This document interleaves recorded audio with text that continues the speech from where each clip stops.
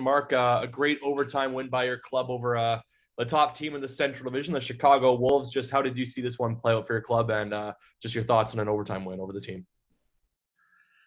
Well, I you know I I thought that uh, early on I thought we had some jump in the game and and some momentum, and then I thought the start of the second period uh, we lost that momentum, and uh, I think for the first ten minutes of that period, anyways, I thought we were on our heels a little bit, and uh, we fought back in the last ten of that period, and then the third period I think was a bit of a a bit of a wash. Uh, you know, I we did what we had to do. We got some we got some uh, some saves when we when we needed the saves, and uh, you know Bobby Lynch scored. We had some guys that uh, Bobby Lynch scored two, I think, and and then uh, Polei scores a, a nice one in the OT. So some guys came through for us at the right moments, but. Yeah, I mean, I, I thought we did what we had to do, but it wasn't uh, wasn't a barn burner, that's for sure. No, of course. But we'll circle on some of those goals in just a minute. But what does this say about the overall group, I guess, just battling a tough team like Chicago? You know where they are in the standings. Um, but having so many guys who are, you know, still up with the Winnipeg Jets or on the taxi squad, uh, still some guys that do the COVID 19 protocols as well. But um, just with the group that you had to ice tonight, just the still getting the full two points in overtime, that must still be pretty impressive. Yeah, I think it's, you know, I think it's really, uh, no, it's a tribute to them. They work really hard. Uh, everyone that's brought into the group seems to be accepted very easily, and uh, the core group that that's still there uh, seems to uh, uh, bring them in, and uh, they seem to play for each other, even though there's a lot of new bodies. So that's the one thing that that we have, and since the road trip started, and we have a really good chemistry and a really good work ethic, and that's half the battle. they work for each other, and you can see that you know, have, there's some desperation in their games at times where they block shots or they dive at the blue line to get a puck over. They just do a lot of things to to try to win the two points. Evan Polei, of course, with the OT winner, he's talked about how he's not necessarily here for his goal scoring abilities, but when it does, when he does get an overtime goal like that, what does that do for just the guys on the bench? And just to see Evan, like I said, go to the, the, the net like that and get a goal like that, what does that do for him as well? I guess. Yeah, I mean, I, I, think it's great for him. He works really hard. Uh, you know, he had a, a, pretty strong game for us and uh, getting pucks out, and he he he's uh, he's strong on the puck. And and uh, you know what? Uh, a lot of people don't know about him is uh, he he's a great team player. He's great on the bench. He's great with everybody. So. Um, I'm sure the players loved it that he got the the overtime overtime goal there. And then last one for me here, Mark. But just seeing Bobby Lynch's second goal a game there at the end of the first period. I mean, you've seen his skills before. I'm not sure if you've seen his dangles like that uh, in practice or anything like that. But to see a guy like Bobby, who's been called up from Newfoundland and uh, make the most of his opportunity with the Moose, especially in scoring a, a, pretty impressive goal like that, what does that mean too?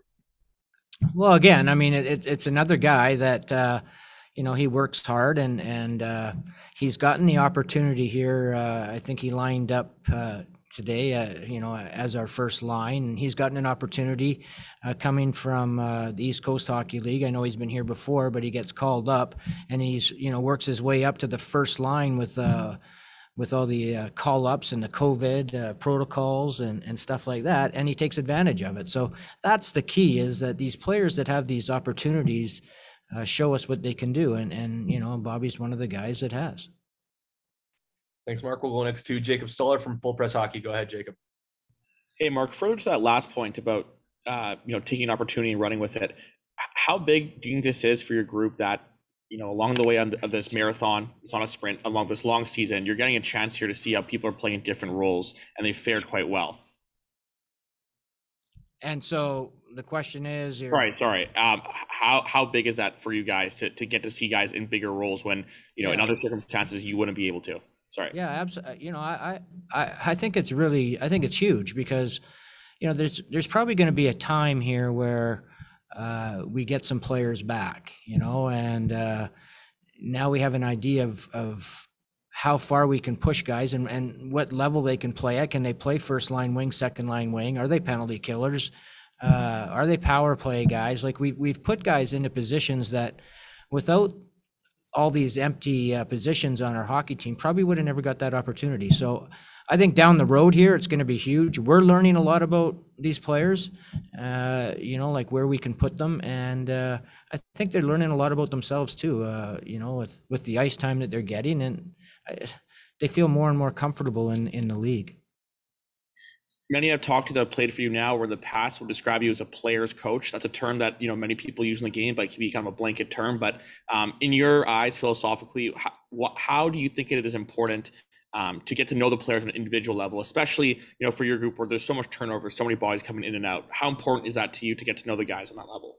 Yeah, I, I, think it's huge. Uh, you know, like uh, I think everyone everyone learns a different way, you know, and some people learn with uh, you know communication. Some people you have to be hard on. Other people, it's you know they don't get the point, so you've got to show them video. I, I think it's important that you learn uh, everybody and what makes them tick. And um, you know, I could go I could go over ten different players in that room, and it's it's important to know uh, how they'll take information in from you. You know, whether some guys need to you need to sit down, have a cup of coffee with, and, and other guys you don't. They don't want to. You know, it's a 10 second conversation. They want to see it on video and done. So I think it's important for us as coaches to uh, to learn all the different personalities and what it takes uh, to teach them. Is that something that you've always believed throughout your coaching career, or maybe in the last couple of years you've it's been reinforced somehow, or um, has it evolved, or have you always kind of had that mantra with players? Um, I think I always have. Like when I was here before as an assistant, I thought that, you know, building relationships with with certain players that we were trying to de- develop uh, meant a lot to the player, um, and you spend a lot of time with them. So I think that, uh, and it carried over in Anaheim. I think that was a big role for me uh, there is to get close to guys, you know, and and spend time with them so they they respected you and listened to you. Um, yeah, I, I think that's my style of coaching. That's what I like to do. I don't necessarily think uh, everybody agrees with it, but that's that's how I do it. Um, just a quick question on uh, Luke Johnson. Uh, is there any update on his timeline? And did he? Is it the same injury as before?